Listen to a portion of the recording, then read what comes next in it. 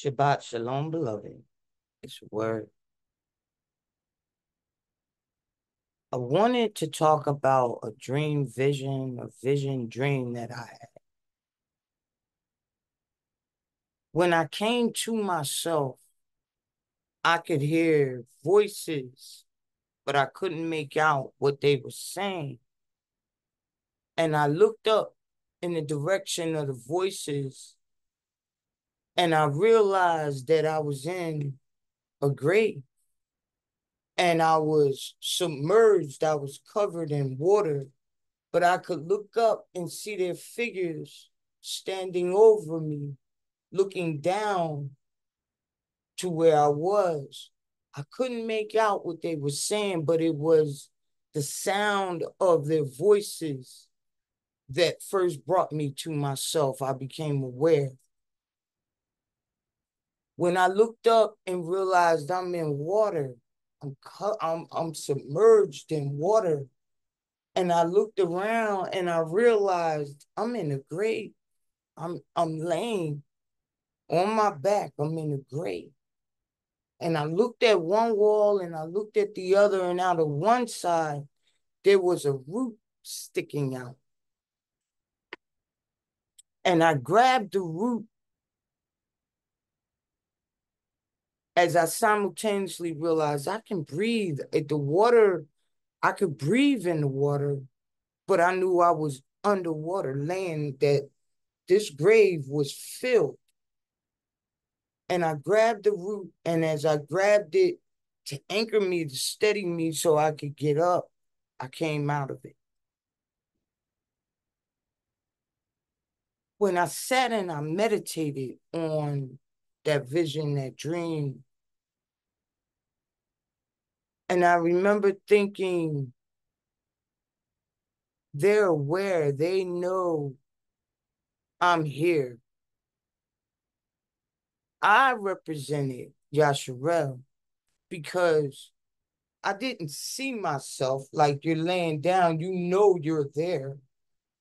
But I believe I represented the house of Yasharel. It made me think of Ezekiel when Yah said, Son of man, speak to those dry bones, those dry bones are the entire house of Yasharel. And like I said, in the beginning, I could hear the sounds of their voices, but I could not make out what they were saying. And I became aware that I was in a grave covered, just submerged in water.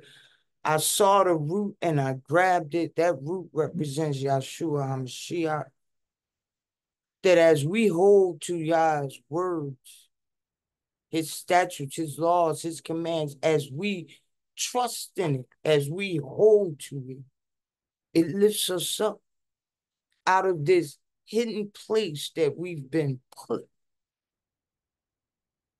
At the same time, it was simultaneous. We were, I was buried like in baptism, dying to whatever I had been when they buried me. But the new creature was coming out. And we were known about. I was known. There were figures standing over. They knew I was there. Like a seed planted, like something hidden away, but rising. Our time, beloved, has come. The manner and the moves that Yahuwah does, only he himself knows, only the creator knows. But it has begun the ancients, the holy ones, know we have been hidden, we have been buried, and we are coming out. There is no more hiding us. Like a seed sprouting, we are coming out. And that water, that living water, also represented the Holy Spirit. because I was conscious of the fact I could breathe. It wasn't killing me. It, I wasn't struggling for air. It was one of the things that I was, I'm underwater, but I can breathe. And I knew that those figures above knew I was there and they weren't going anywhere. I was coming out and they were waiting for me. I, I can't even say whether they were assisting me, but I knew they knew and they were talking. It's a sign, beloved. Signs and wonders that y'all know that the nations buried us.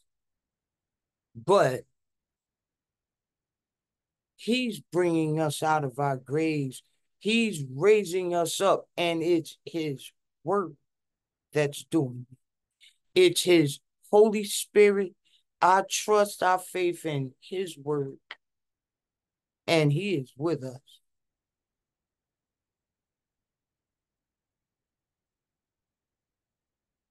Yasharel is coming forth.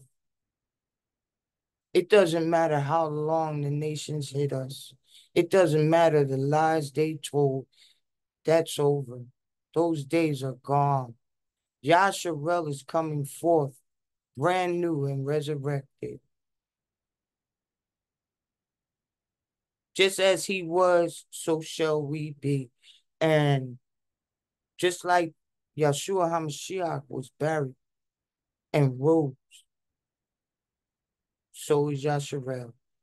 And we are leaning and holding on to his word, covered in his spirit, watched over by his divine truth. It is word beloved. Shabbat Shalom.